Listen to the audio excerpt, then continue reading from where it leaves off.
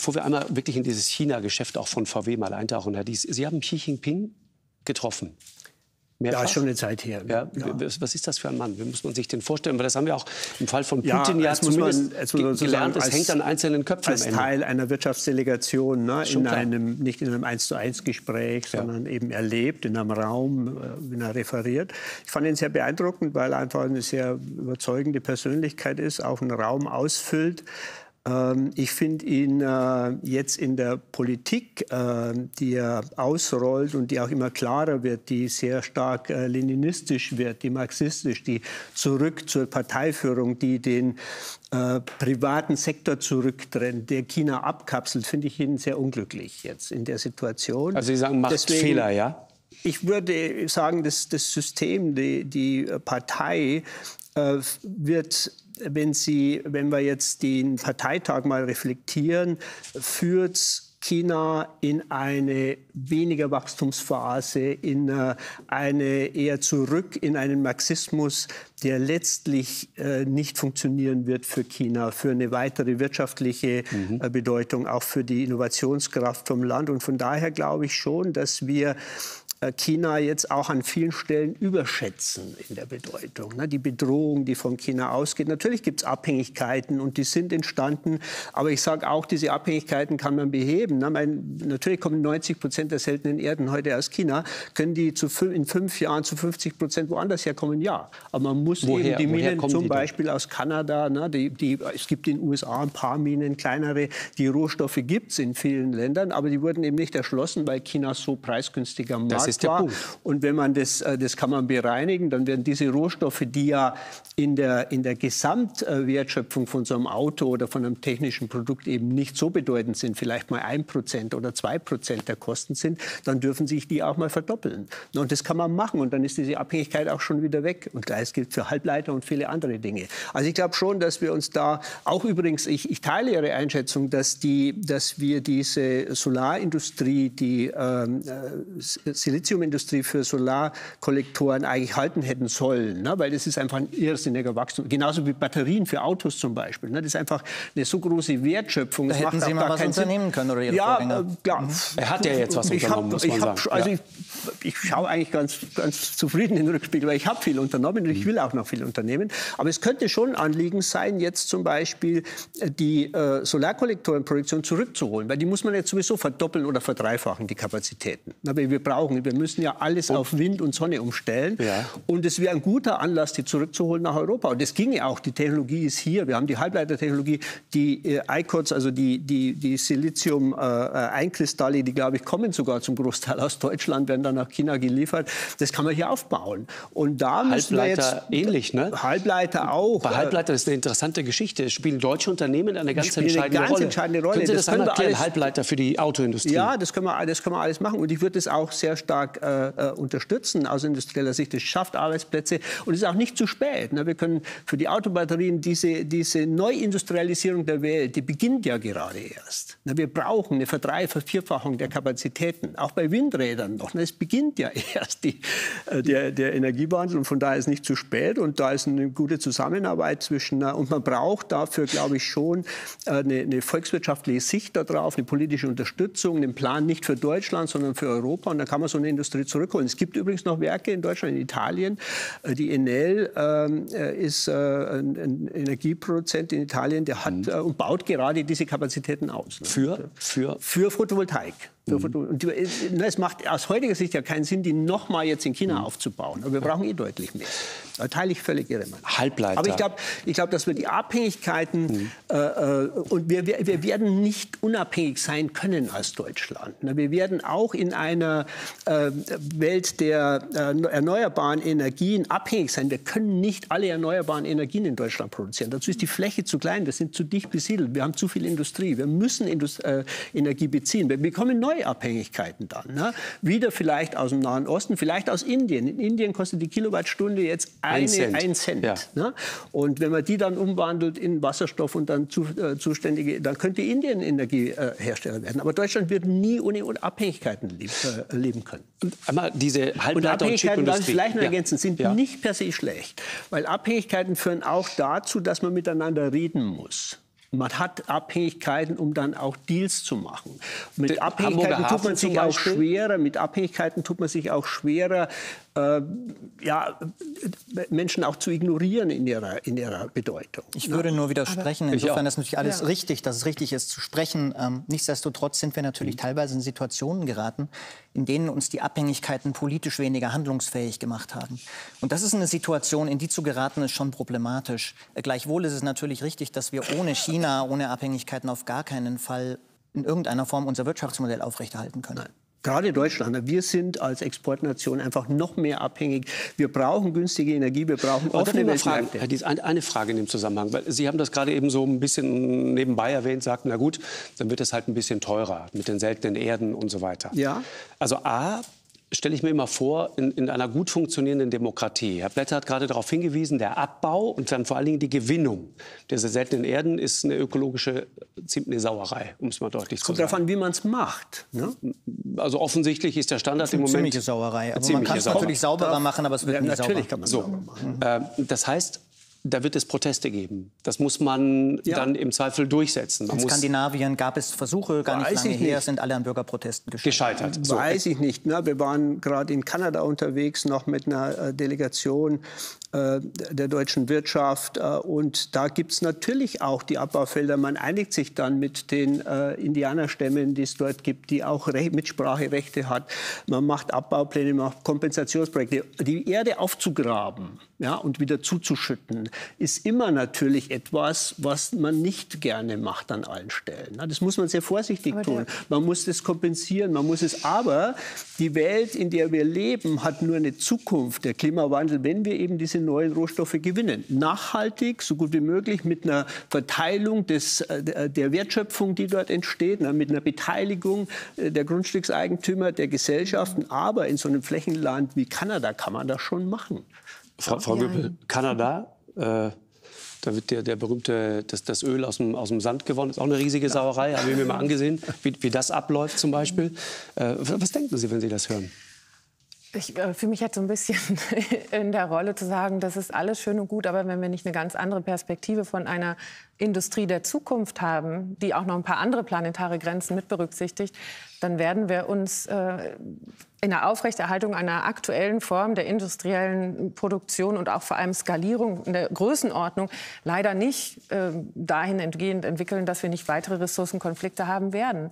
Oder dazu, ich möchte einfach nur erinnern, jetzt sind wir gerade die Klimakonferenz in Sharm el-Sheikh, aber im äh, Dezember treffen sich dann in Kanada diejenigen, die darüber beratschlagen, wie wir doch eigentlich 30 Prozent mindestens der Erdoberfläche nicht umflügen sollten. Ja, natürlich. Wenn wir so etwas wie Biodiversitätsziele brauchen, ja, erreichen wollten. Und ich frage mich immer wieder, wieso, wieso vergessen wir denn jetzt eigentlich, was Menschen auch primär brauchen. Das ist so etwas wie saubere Nahrung, sauberes Wasser, saubere Luft zum Atmen und eben wenig Kontamination. Ja. Und dann kann man sich ja auch mal fragen, welches Ausmaß an industrieller Versorgung ja. und auch an Fuhrpark ja. braucht es denn tatsächlich, um zu sagen, Menschen können sicher versorgt leben, aber vor allem auch langfristig sicher versorgt bleiben. Und ich glaube deshalb dieses sich endlich mal annähern und ehrlich machen, wie viel haben wir denn? Und die Ressourcenbudgetfrage kommt ja näher. Wir sind beim Gas zum allerersten Mal dahin genötigt worden zu sagen, mhm. uff, wir können es mit dem Preisindikator gar nicht in den Griff kriegen, weil der Speicher ist der Speicher ist der Speicher. Ja. Und dann fing es an zu überlegen, was ist eine Verteilungsgerechtigkeitsfrage. Und wenn wir irgendwie auch nur ansatzweise ernst nehmen wollen, dass wir in den nächsten zehn Jahren bei ungefähr, also nicht in der Biodiversität, sondern auch beim Klima, wirklich den absoluten Bremsweg einlegen ja. müssen, dann kommen wir um diese Fragen nicht herum. Nee.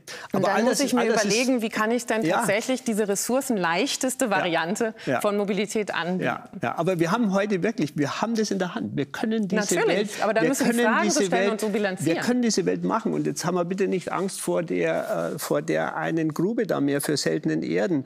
Äh, die, das, wir, wir müssen Dinge aus der Erde holen, um diese technische Welt zu gestalten. Wir werden aber auch sehr viel geschlossene Kreisläufe haben. Batterien zum Beispiel wird dazu führen, dass wir erstmal sehr viel Lithium abbauen mhm. müssen, mhm. sehr viel Nickel herstellen müssen Lithium und aus der Erde graben. Wo, wo gibt es Nickel, wo gibt es Lithium? Wir werden die dann, gibt es auch weltweit sehr gut verteilt. Aber im Moment, ne? Moment? Im, Im, Moment sehr viel in Russland, Nickel, okay. Lithium, sehr viel, sehr viel, ja. in Lateinamerika, ja. in Afrika, über die Welt verteilt. Mhm. Auch Nickel gibt es in Kanada in großen Minen.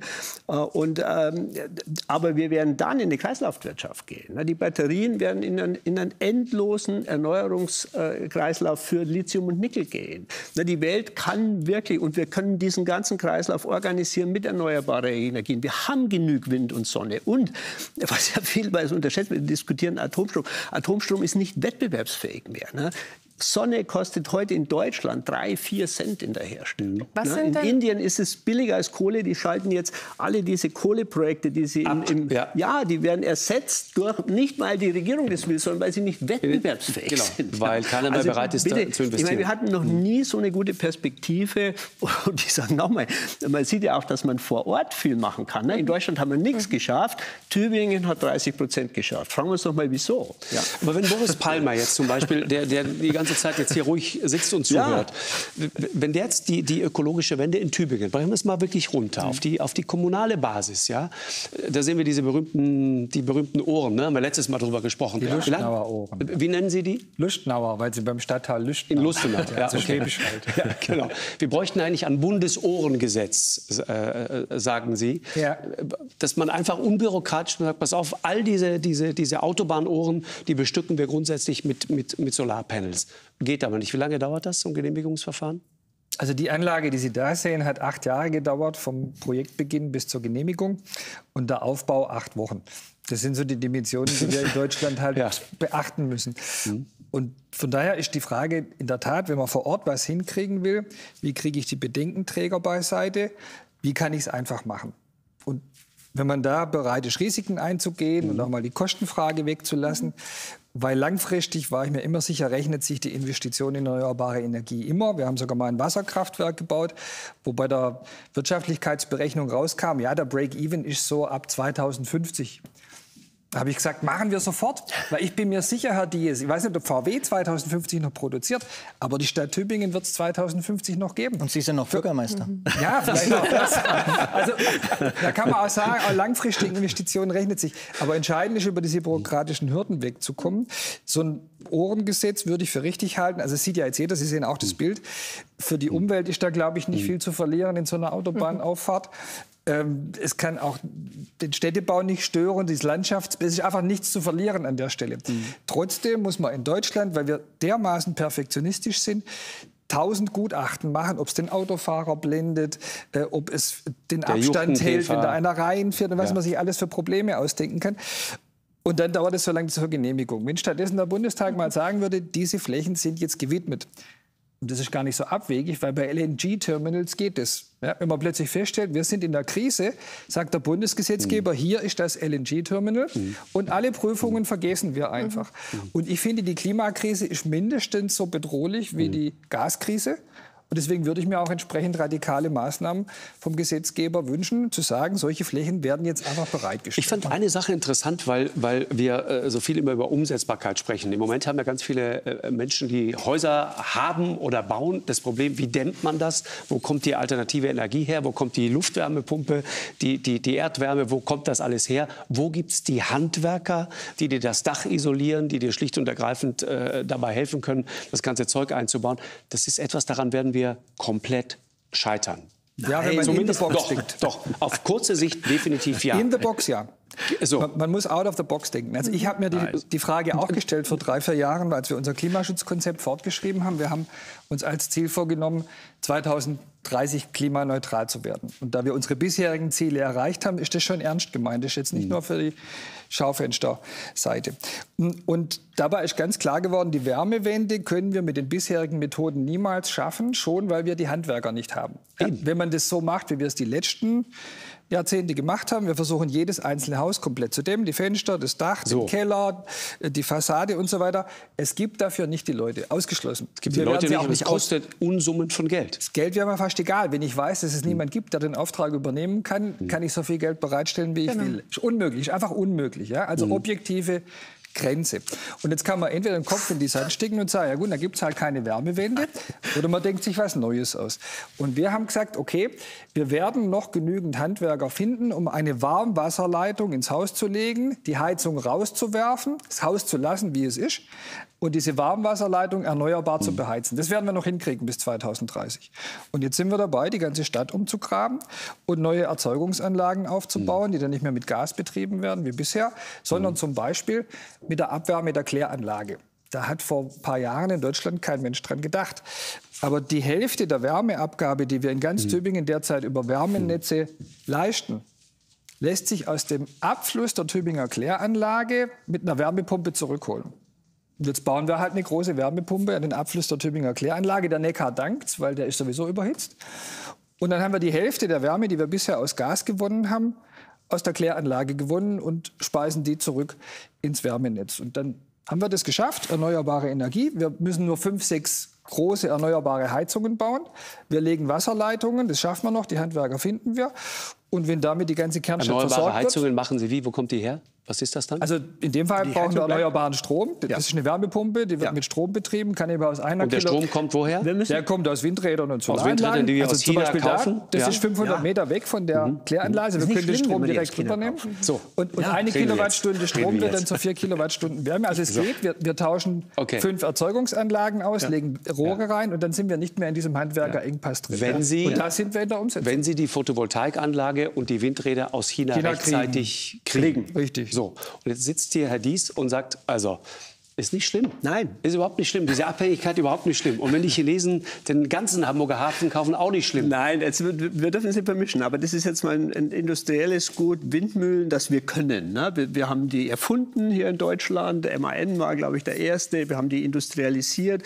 Und dann haben wir aufgrund schussliger Politik, sage ich mal, haben wir es versäumt, die Industrie hier in Gang zu halten und haben die verloren an China. Wie so oft. Ja. Das ist uns schon ein paar Mal passiert. Und die sind heute in China und werden dort äh, in extrem großen Mengen hergestellt. China ist der größte Hersteller, was auch gut ist, weil auch China sehr stark natürlich Windenergie erzeugt und damit auch China ist unser größter äh, ist der größte Emittent von CO2-Emissionen. Na, China muss sich am schnellsten und am dramatischsten ändern. Und Das wenn Wort Klimawandel und wenn hat China, Xi äh, auf wenn, dem wenn China, nicht einmal wenn den China der größte Hersteller von Windmühlen ist und von Solar, dann ist das erstmal schon ein ganz gutes Zeichen, weil das heißt, die haben dort einen riesen Inlandsmarkt und investieren das, was uns zugutekommt, letztlich für den Klimaschutz. Mhm. Und wir können die Dinge jetzt auch relativ günstig kaufen. So, jetzt haben wir gesagt, wir wollen das nicht, die Abhängigkeit können wir ändern. Na, wir können diese Windenergieindustrie, die Windturbinenindustrie sehr stark hier äh, entweder subventionieren, schützen vor Importen oder auch die Solarkollektoren, dann ist die auch schnell wieder aufgebaut. Ja? Das ist keine nachhaltige, dramatische technologische Abhängigkeit. Das aber kann Sie man finden, tun. diese Man. Abhängigkeit finden Sie aber nicht schwierig. Nein, weil man Das mit dem Abhängigkeiten... Hafen hier in Na, Hamburg wir zum haben, Beispiel. Wir haben ja so eine Diskussion jetzt, dass Abhängigkeiten Genau. grundsätzlich schlecht sind. Ja, Sie, das klingt bei Ihnen auch so hin und wieder so durch. Wir werden in, in, in dieser arbeitsteiligen Welt äh, auf die Abhängigkeiten zu verzichten, macht diese Welt um so viel schlechter, weil alles so teuer wird. Ja, und wir dann nicht mehr die Dinge dort produzieren, wo sie einfach am günstigsten sind, sondern dort, wo man eben sagt, wir wollen die Abhängigkeit nicht. Jetzt muss man aufpassen natürlich, dass man, aber wir werden uns als Deutschland nicht vollkommen unabhängig machen werden. Wir Problem sind per se abhängig zum Beispiel von Technologie. Wir haben keine Datenunternehmen. Da sind wir abhängig von Amerika, von den Googles, von den äh, Microsofts den- dieser, ja, dieser ja. Welt. Na, und wir haben Abhängigkeiten bei Rohstoffen. Wir haben halt keine Rohstoffe hier in Deutschland. Waren wir immer schon. Werden wir auch in Zukunft sein, von anderen Ländern. Wir sind extrem abhängig von der Energie. Der Platz ist einfach nicht groß genug, um genug, außer wir, wir steigen um auf Atomenergie. aber Sie sehen doch wir müssen gerade, was diese passiert mit dieser Abhängigkeit. Naja, aber wir müssen diese Abhängigkeiten managen. Ja? Aber auch und, reduzieren. und auch einsetzen. Ja, per se reduzieren an der einen oder anderen Stelle, wo es weh tut, vielleicht schon. Aber wir müssen eben auch in dieser Welt der Abhängigkeiten leben und mit den, äh, äh, mit den jeweiligen Herstellern auch Wirtschaftsbeziehungen dazu pflegen und, da, und, und unsere Deals machen, unsere Interessen wahren. Das machen die Amerikaner, das machen wir. Äh, Und, äh, Sie haben ja gesehen, wohin uns das geführt hat. das 24. weiß ich Februar. Nicht. Ja, das war schon äh, natürlich jetzt eine Sache, die man auch. Wir, wir, wir gucken jetzt zurück und sagen, was haben die alles falsch gemacht? ich war da dabei ne, und habe gesagt, wir müssen eigentlich versuchen, Russland an Europa zu binden. Und Russland wird irgendwann mal entweder an Europa oder an China aber, dies, gehen. Aber, aber ja. diese, diese Geschichte, hat sich kein nicht, Vorwurf, hat aber sich das nicht, hat nicht hat funktioniert. Sich, hat nicht funktioniert. Jetzt muss man an der Stelle umdenken, neu denken. Ja, aber jetzt aus der abzuleiten, wir kommen ohne Abhängigkeiten durch, ist einfach völlig illusorisch. Ja. Aber ich glaube, der also Begriff macht diese, diese Abhängigkeit von China, das macht Ihnen keine Angst? Das macht mir, natürlich müssen wir China ernst nehmen. Ja? ja? aber, ich frage aber, China, aber wir haben nicht nur eine negative Abhängigkeit, sondern China leistet auch einen ganz großen Beitrag zu unserem Wohlstand. Und das wird in der jetzigen Diskussion aus meiner Sicht deutlich unterschätzt. Ne, wir haben einen großen Wohlstand hier in Deutschland, auch im Rest der Welt, durch das enorme Wachstum, das China geleistet hat. Ich glaube, man muss das aber einmal, ich glaube, man muss das einmal einordnen. Ja. Sie haben in der Historie recht. Und trotzdem ist die Situation jetzt eine neue. Mhm. Also 2001, als China in die genau. Welthandelsorganisation eintrat, in den Welthandel integriert wurde, wenn wir an die Zeit zurückdenken, damals Deutschland fast fünf Millionen Arbeitslose, die Sozialkassen also irre unter Druck, die Staatsausgaben irre unter Druck. Und damals hat durch diese Einbindung Chinas in den Welthandel Deutschland massiv profitiert. Ja. Also wir haben das Land ausgerüstet, ihr Unternehmen vorneweg, das gleiche gilt für Siemens, Maschinenbauer, Chemieunternehmen. Und wir haben gleichzeitig, also viele unserer Zuschauer, ja, die gucken jetzt wahrscheinlich über sehr günstige Geräte zu, auch weil wir billig einkaufen können. Also wir haben durch Im- und Exporte profitiert. Wir sind aus der Finanzkrise rausgezogen worden durch China. Durch Völlig China, richtig, ja. durch die Investitionen. Also wir haben uns aus der Krise exportiert, kann man sagen. Wir haben uns nee, exportiert nee, nee, und China importiert. Beides, durch beides. die Stimulenzprogramme die Welt eigentlich nach der Finanzkrise gerettet. Aber, ja. aber ich glaube, also unsere Inflation, wenn man so will, wäre auch deutlich höher ohne billige Produkte Absolut. von dort. Aber es hat sich was verändert. Und was sich verändert hat, sind zwei Dinge. Bei Russland haben wir ähnlich argumentiert. Und Sie tun es jetzt gerade auch, jetzt wollen wir nicht zurückgucken, sagten Sie, aber man kann wirklich sagen, es war schon einer der ganz, ganz, ganz großen Fehler dieses Landes, falschen Fehleinschätzungen, politisch und ökonomisch, sich so auf Russland zu verlassen. Da waren auch Konzerne dabei, die das getrieben haben. Ja, aber es war breit getragen, ne? auch, auch die Medien haben es mitgetragen. Ja, nichtsdestotrotz, ja. ja, nicht alle. Ne? Auf jeden Fall, worauf ich hinaus will. Es geht jetzt gar nicht um Schuldzuweisung, nein, es geht nur nein, darum, mal zu verstehen, wie diese Abhängigkeit entstanden ist und wie dieses deutsche Erfolgsmodell funktioniert. Nein, weil, weil Sie sagen auch, dass genau, dieses Land wäre ohne diesen riesigen chinesischen Markt und ohne diese Verflechtung, es wäre ein anderes wären Land. Wären wir ärmer und wir können uns auch ja. nicht von China komplett entkoppeln. Das ist völlig undenkbar jetzt. Ja. Herr Dies ist ja auch nicht der Chef eines deutschen Unternehmens gewesen. De facto mhm. war er Chef eines internationalen Unternehmens mit 100.000 chinesischen Mitarbeitern. So spricht er natürlich jetzt auch, aber das muss man auch noch dazu sehen. Aber, aber was ich, den Punkt, den ich eigentlich machen möchte, ist folgender. Ähm, wir sind nun in einer Situation, in der wir es mit Staatschefs, mit Autokratien, mit Diktaturen zu tun haben, in denen die ökonomische Rendite nicht mehr im Zentrum steht, sondern der Machterhalt. Und Sie haben eben die ganze Zeit argumentiert aus einer ökonomischen Perspektive. Also alles, ökonomischen sagten, Vernunft heraus sozusagen. Ja, ist ökonomisch rational. Ja. Mhm. Wir sehen aber, dass vieles, was da passiert, nicht mehr ökonomisch rational ist. Und was Sie auch ausblenden ist, wir reden ja jetzt nicht von irgendeinem netten, wohlwollenden Diktator, der jetzt seine Partei unterdrückt. Ja? Wir reden von Internierungslagern, von Uiguren, übrigens auch in Regionen, in denen sie eine Fabrik haben. Wir reden von, einer, wir reden von einem Regime, das Menschen foltert. Wir reden von einem Regime, bei dem wir damit rechnen müssen, dass es vielleicht Taiwan angreift. Und so das passieren sollte, was in zumindest äh, außenpolitischen Kreisen für sehr wahrscheinlich oder zumindest wahrscheinlich gilt, dass das irgendwann passiert, für diesen Fall können sie alle ihre Assets und Fabriken abschreiben in China. Und dieses Risiko sollten wir schon ernst nehmen. Und deswegen ist diese einseitige Abhängigkeit zu reduzieren natürlich ein richtiger Weg. Wenn wir jetzt unseren Politikern gerade zuhören mit dem Hamburger Hafen und so weiter, da geht es ja nicht um Entflechtung. Da geht es ja in jeder einzelnen Botschaft nur darum, dass wir nicht mehr Abhängigkeit haben. Mhm. Aber die Frage, wie wir es schaffen, mit China zu koexistieren, weil es ohne nicht geht, aus allen hm. genannten Gründen, aber trotzdem nicht den gleichen Fehler zu machen wie bei Putin. Und deswegen, das wäre schon eine Aufgabe. Und deswegen bin ich ein bisschen irritiert davon, dass Sie das so wegwischen, als wäre das überhaupt kein Problem. Weg.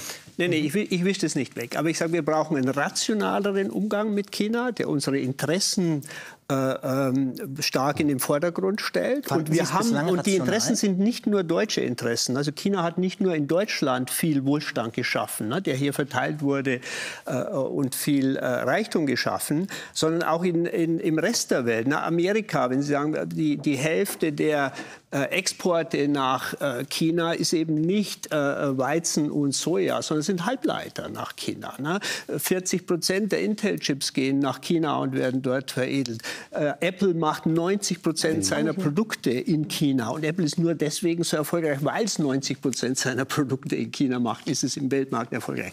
Also China ist einfach ein ganz essentieller Bestandteil der heutigen Weltwirtschaft und größer, als wir uns das eigentlich vorstellen wollen. Und jetzt sind wir zurück bei Auto, nicht VW, sondern Auto gemeint. Wir, wir sind äh, ja Weltmarktführer bei den Premium-Autos, ne? BMW, Daimler, äh, Porsche, Audi die Hälfte des weltweiten, und, und, China ist nicht ein Markt, ja, sondern die Hälfte des weltweiten Marktes mhm. ist China. Ne? China hat einfach eine Dimension, die so bedeutend ist für die Welt, für das Wachstum der Welt, für die Inflation, mhm. dass ich sage, wir brauchen bitte einen rationaleren Umgang mit mhm. diesem System, das uns nicht äh, liegt, ja, das ja. wir auch nicht wollen, das wir auch menschenfeindlich sehen, dass wir äh, auch, aber das ist halt das System, das dort herrscht. Aber wir brauchen einen rationalen Umgang, der unsere Interessen schützt ja. äh, und aber auch China Entwicklungsmöglichkeiten gibt, weil die Welt wird weiter ein China brauchen, das sich verbessert, das wächst, das am Klimaschutz partizipiert. Na, wenn China nicht dreht beim Klimaschutz und mir hat große Sorge gemacht jetzt bei Xi Jinpings Rede zum Parteitag, das Wort Klimawandel das Wort kam Klima nicht einmal. kein einziges Mal ja. erwähnt. Ja? Mhm.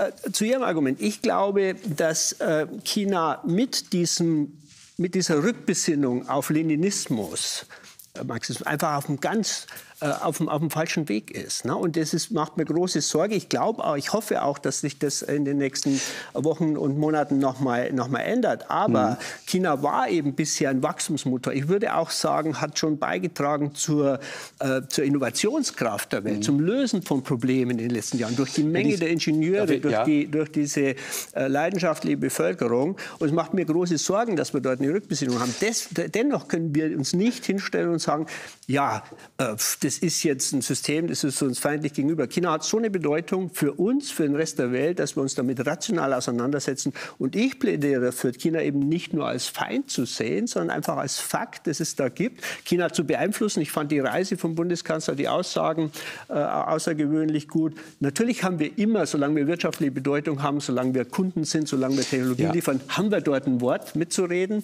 Und ich fand äh, diese Reise extrem gut, weil wir einfach unseren Punkt gemacht haben aber dennoch sagen, natürlich wollen wir mit China zusammenarbeiten. Weil wir müssen Dieser, mit China zusammenarbeiten. Sie, Sie haben mal in einem Zusammenhang, anderen Zusammenhang gesagt, äh, äh Herr Dies, wenn wir nur Geschäfte machen mit Demokratien, ja. dann ist unser Markt noch 10 Prozent. Ja, wir haben die, die, die, die Anzahl der Menschen, die in Demokratien leben, die unserem Maßstab ja. entsprechen, ist etwa 10 Prozent der Weltbevölkerung. Und der ist schrumpfend. Das waren mal 13, das sind noch 10.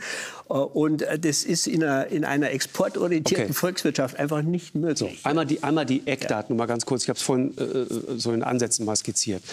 Also 10 Prozent des Marktes wären nur noch da. Sie sagten auch, wenn man China wegnehmen würde, würde zum Beispiel ausweichen auf Japan oder so, wäre ja, gerade mal drei Prozent mehr. Ja. Das ist die Dimension, um die es ja, geht. VW verkauft mittlerweile jedes zweite Auto faktisch in Lass uns nicht von VW sprechen. Ne? Ich bin da nicht. Wir können ruhig sagen, deutsche Premiumindustrie, deutsche Autoindustrie, Chemie und so. Auto, Maschinenbau, Maschinenbau Chemie und Auto. Deutschland so. äh, schöpft viel Wohlstand von chinesischen Kunden. So, äh, binnen weniger Tage im Juli dieses Jahres gibt äh, BASF bekannt, dass sie 10 Milliarden Euro äh, äh, im Süden Chinas investieren. Der Autozulieferer Heller kündigt den Ausbau einer neuen Fabrik in Shanghai an. Aldi plant hunderte neuer Läden ja. im ganzen Land zu eröffnen. Ja. Das Handelsministerium meldet, dass das Investitionsvolumen aus Deutschland im ersten Halbjahr gestiegen ist. So viel zum Thema, wir wollen uns entflechten und unabhängiger machen um 26,1 Prozent. Ja. Das heißt, diese Abhängigkeit wird sich ja, weiter intensivieren. Sie sehen es nur das als Abhängigkeit. Immer. Ich habe eine Frage, eine Frage. Natürlich kann man sich Deutschland ohne diesen Export vorstellen. Ja, und ohne diese ja. Dienstleistung. Aber es ist halt viel ärmer. Ne? Ist es eine Abhängigkeit? Ja, wenn Sie so wollen, es gibt zu China in der Dimension auf der Welt keine Alternative. Ja. Und Sie dürfen unterstellen, dass die Automobilindustrie, und ich bin jetzt, äh, und ich sage, kriege andere Industrien auch so ein bisschen mit, alles tut, um am gesamten Weltmarkt zu partizipieren. Das verstehe ich. Also in Japan, aber meine in Frage, Indien. Aber China war eben in, den, in, dieser Zeit der Öffnung, in diesen 20 Jahren, wirklich der Motor der ja. Weltwirtschaft und hat einfach eine Dimension, die alles andere sprengt.